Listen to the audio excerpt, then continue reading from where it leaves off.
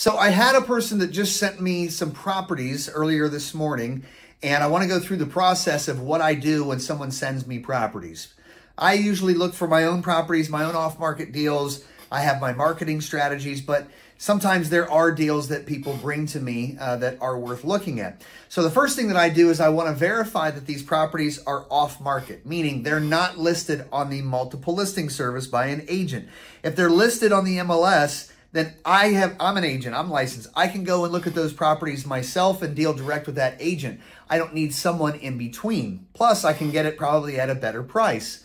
And the second thing is, is that most properties on the MLS are overpriced. So the moment that I see a property that is listed on the MLS, I'm not going to be interested in it because most likely it's going to be overpriced. So those are the first things that I did uh, when, when I looked at these two properties, and I did verify that both properties are off market. So the next thing that I do is I want to just kind of get an idea of the property, the area that they're in. Uh, so I'll, I'll literally put them into Google Maps and I'll get the aerial view so I can, you know, make sure I determine and see are there any additions that have been, you know, built onto the house. Usually if there's a flat roof, that's an, that's an addition that's been put onto the house. When the house was originally built, it has the pitched roof. But if you see a flat roof, especially in the back of the house, that's usually indicating some type of porch or something uh, that was enclosed and maybe even illegally added. I also will verify if it's you know close to the water, um, if it's got a pool, and those kind of things. The, the aerial views are really helpful for that. Then what I want to do is I sometimes will also even look at the area, uh, look up and down the street, just kind of see, you know, any other properties that are there. But most importantly, I really want to start understanding what the after repair value is in that neighborhood. After repair value is what the properties in that neighborhood will sell at the top value when they have new roofs, new windows, new flooring, new kitchens, new bathrooms. They've been fully rehabbed and they're being sold retail to a new home buyer. That's what after repair value is. That's what every property that you rehab, that you fix up and sell, you want to sell it at the after repair value. So to do that, I go to two places. The first place that I'll go to is the property appraiser site. The property appraiser site, if the property is in Broward or uh, Dade County, then I'm going to go to the Miami-Dade property appraiser site that I have on the screen behind me. And I'm just going to verify a few things, take a look at the property. When was it last purchased? You know, sometimes if I see that it was purchased a year ago um, for a price that's, uh, that's, you know, a lot lower than what I am being sold the property for now, and it hasn't had any um, updates or anything, then that's probably going to be a red flag.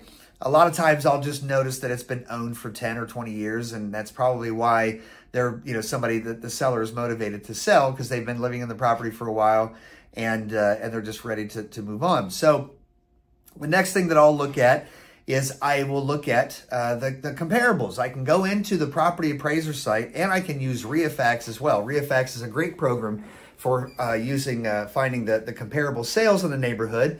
Uh, but I'll usually double up and look at subdivision sales just in case REIFax missed anything and look at the properties that have been sold recently. And when I get the addresses, I don't even need to use my license to go on the MLS, which I can to look at pictures.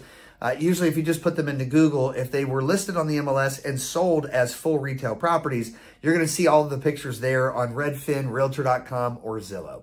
So I'll look at the pictures and just kind of verify and say, okay, in this neighborhood, I did this for both properties. One was in Broward, one was in Miami-Dade.